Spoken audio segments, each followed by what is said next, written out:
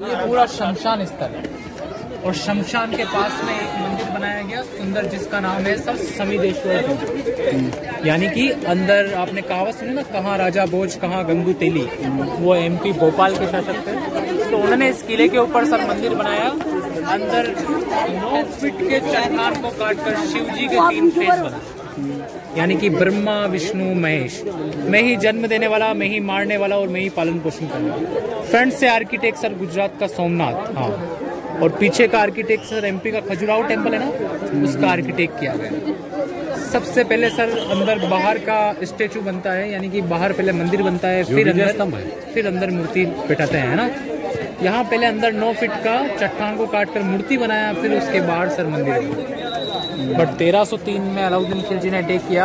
इस किले के बाहर टेंपल के बाहर जितनी भी मूर्तियाँ हैं सर, उसको आप देखेंगे चुन चुन कर तोड़ रखा। किसी का हाथ नहीं, किसी का पेड़ नहीं, किसी का मुँह नहीं है। चुन चुन कर तोड़ इधर भी टूटे हुए मंदिर है सर ये सब। और वो वाला जो गेट है वो दासियों के आने के लिए। है देख रहे हो ना सर सामने वाला गेट ये दासियों के आने के लिए इसके ऊपर भी मूर्तियाँ तोड़ रखी है। पूरी तरीके से। चुन चुन कर। और इधर वाला जो गेट है सर ये रानियों के आने के लिए। इधर वाला गेट अगर जो ये मंदिर था ये बड़ा था ये क्यों डिस्ट्रॉय करा फिर उन्होंने? ये क्यों नहीं तोड़ा? तेरह सौ तीन में अलाउद्दीन खिलजी आया ना तोड़ रखा अंदर। फेस को रिपेयर किया जो मंदिर ऊपर वाला है ये बिल्डिंग ये बड़ी बनी है।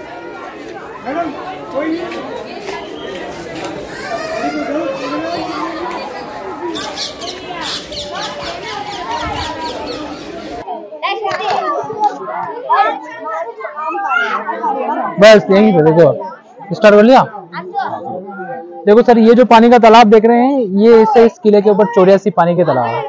यहाँ रानियों का आना, नहाना, मंदिर दर्शन करना, शिव पूजन करना, सोमवार का व्रत रखना, सब यहीं से होता था। ये सभी बारिश का पानी, नीचे जो पिलर देख रहे हैं ना उस पिलर के इधर क्या है कि पहले सुरंग निकलती थी, जो अभी बंद कर दिया। यानी कि वहाँ से रानिया सुरंग के द्वारा आना, जिसको अभी पानी में डूबी हुए है, और वहाँ से वापस क्या है कि पूरी तरीके से निकलना। तेरह किलोमीटर के एरिया में बाउंड्री बना हुआ है, सामने वाला हवेली जयमल पत्ता राठौड़ का हवेली, डिस्ट्रॉयड हवेली है। और ये एक आश्रम है निर्भय नाथ ऋषि का, जहाँ उन्होंने तपस्या करी थी। कहा जाता है कि सर जड़ना जरे, गोमुख भरे निर्भय नाथ की ठोड़, कठोर तपस्या करे, तप पावे गढ़ चित्तौड़गढ़। यानी कि आपने भी किसी समय क्या है कि तपस्या करी होगी किसी रूप में तब आप संतों और वीरों की भूमि को चित्तौड़गढ़ के ऊपर विज़िट कर रहे हो। ये मंदिर है ऐसे 113 मंदिर है इस किले के इसमें हाँ तीन फेस है ब्रह्मा विष्णु महेश।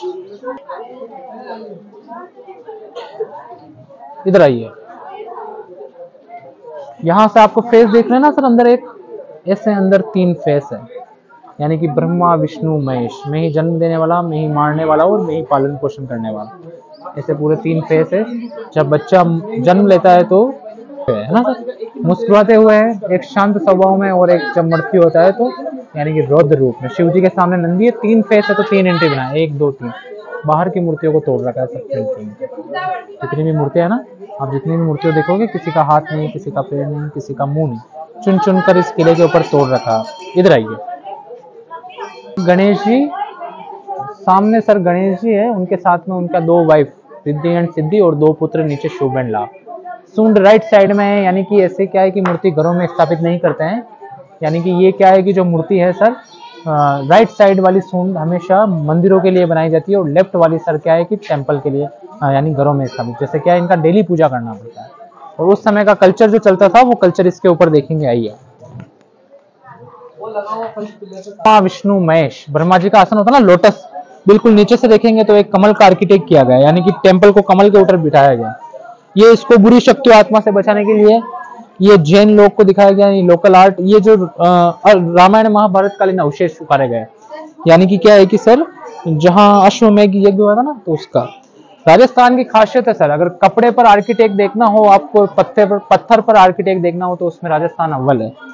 यहाँ से आपका सर क्या है कि उंगली निकल जाती है, ऐसे ऐसे क्या है कि सर आर्किटेक्ट किया गया है, यानी पूरी तरीके से। ये सभी सिंगल स्टोन का है बट इसको तोड़ने में दस वर्षों का समय लगा था। ये जो देख रहे हैं ना, थेवा कला। यहाँ जो रानियाँ जो पहना हुआ पहनती थी, उनका ऑर्नामेंट्स का और इनका डिज़ाइन ये डांसिंग लेडीज़ होती थी ना सर, जो नृत्यांगना। अभी एंटरटेनमेंट के लिए आपके पास क्या है कि सर टेलीविज़न मोबाइल है।